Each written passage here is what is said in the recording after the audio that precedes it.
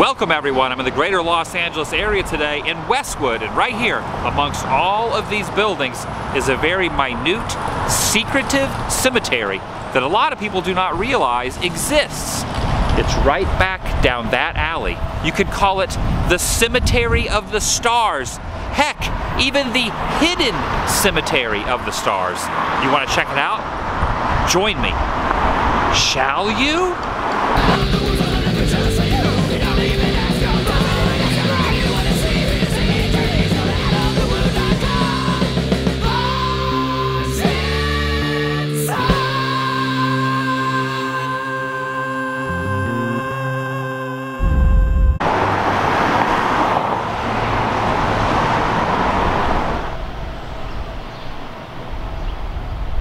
One of the things I love about this place is it's virtually unknown. Unless you know it is here, you would never realize as you're driving through the greater Los Angeles area that amongst the skyscrapers and buildings that this wonderful place exists. And even more amazing than that are some of the celebrities, the countless amount of celebrities and the backstories behind their deaths and their graves that exist right here. One of my favorites, of course, Don Knotts. The story on this Don Knotts headstone was he had a normal headstone similar to the other ones you see around him. But later on, as time went on, they replaced it with this really fantastic one with all the different characters that Don Knotts played throughout his career. This is Heather O'Rourke's grave. She was the little girl in Poltergeist 1 and 2, and she died at a very young age. She was born in 1975 and passed away in 1988. Here is the final resting place of Truman Capote, and you might find it unusual that the name Joanne Carson is below his emblem. And the reason Joanne Carson is buried here is because she was best friends with Truman Capote. Even though she was married to Johnny Carson, she is buried next to her friend. Here's Richard Dawson, of course, famous for Family Feud, but I know him from The Running Man. He was also in Hogan's Heroes. Hogan, Bob Crane's right over there. Over this way? Over this way. Let's see if we can find Bob. So this is Bob Crane and his wife who played Elga on the uh, on the show Hogan's Heroes. Bob, uh, unfortunately, uh, was murdered and uh, they, I don't know if they ever solved the crime. In case you're wondering who that voice is, that is the voice of the one and only Mr. X, who was just off camera. Say something? Hello.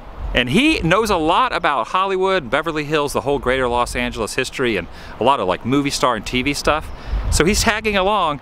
He doesn't want to be on camera. Never on camera. Never, never on, on, camera. camera. Never, never. But you're going to hear his voice, and he will be peppering in some knowledge and some facts and figures about this fantastic place as the video progresses. So there's Burt Lancaster. Sorry, trying to clean off Mr. Lancaster. And I'm guessing by how many headstones there are that he was cremated and his ashes and probably his urn is there in the ground. Now I know Burt Lancaster was famous back in the day, but I remember Burt Lancaster from a baseball movie called Field of Dreams.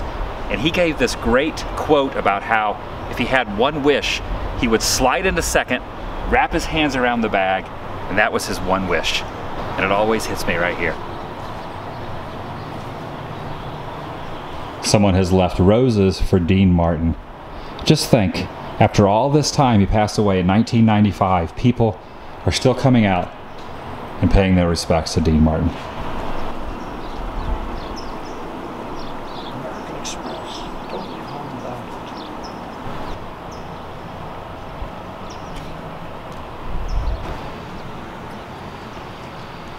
Now, correct me if I'm wrong, but didn't Farrah Fawcett pass away the same day as Michael Jackson? I believe so. You're right. Yeah, that's right. You're right. And so I think that, you know, her passing away, the fame of a famous person passing away Michael. was overshadowed by Michael's death. I ask you though, did you have her poster in your room when you were a kid? I never had her poster. Oh, I wasn't allowed to have her poster. Oh, I had her poster. I may or may not have it hanging now next to my bed. It's a very beautiful grave, nice flowers, nice headstone. It's finally good to see that Rodney is getting some respect. And this is the inside of the chapel. So pretty much everyone who is buried or has had a service here, at least a good portion of them, their coffin has been right there. And all those mourning, the friends and family, sitting right here. Pretty wild to think that.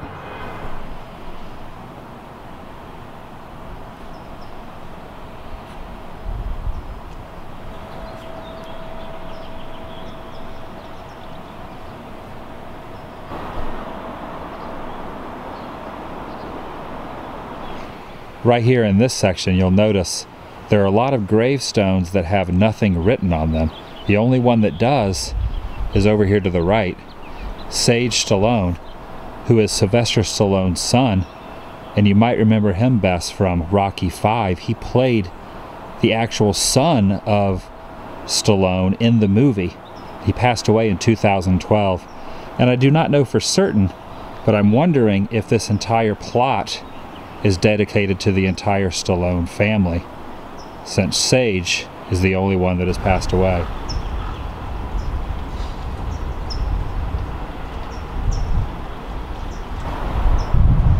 You will notice this plant, but no headstone. Where this plant is, is the unmarked grave of Roy Orbison, right here. They never put a headstone. No one even knows he's here. The only thing to document it is this plant.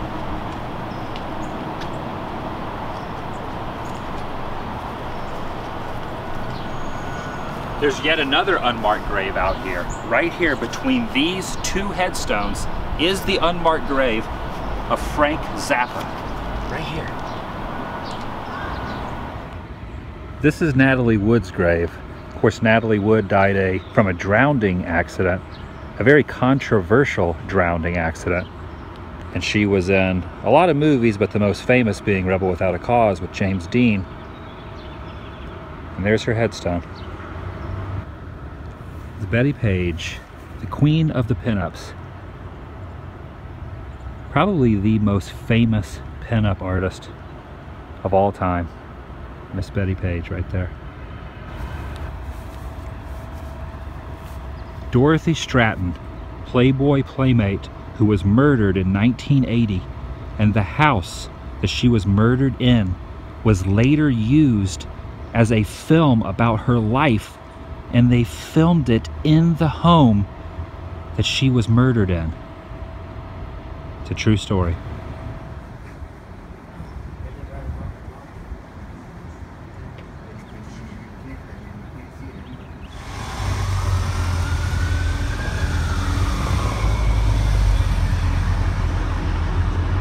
Of course, the most famous grave out here is Marilyn Monroe's grave and there was an employee just cleaning off all the lipstick marks that women and men come out here and kiss Marilyn's crypt. And you can see it's been cleaned so many times that it is stained with lipstick as it's been smeared.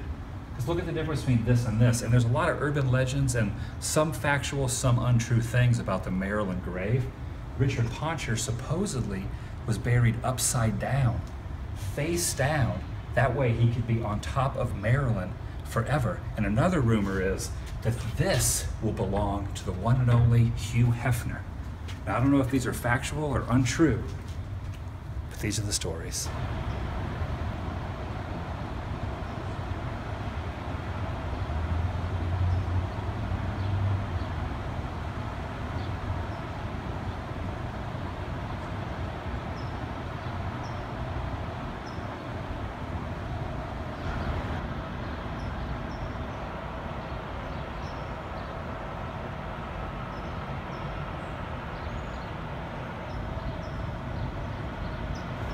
Thanks for watching everyone. I didn't show all the graves here, but I showed some of the more famous and unusual storied ones. And if you're ever in the Hollywood area, keep an eye out for this very amazing cemetery and stop by. See you guys.